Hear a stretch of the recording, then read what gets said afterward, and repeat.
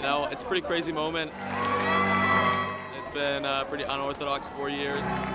I'm feeling sad but happy at the same time. I mean, I feel amazing. Like we finally out, we made it through.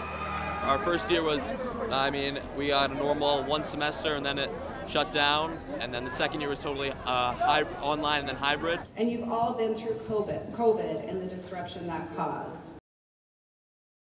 This is my first full year back as a senior, and I'd say like um, the opportunities I got to have this year that I didn't have the first three years was very amazing, and I'm glad that I got to have the opportunity. Miguel Rojas, Every year it's been different. Evelyn Fieldroy,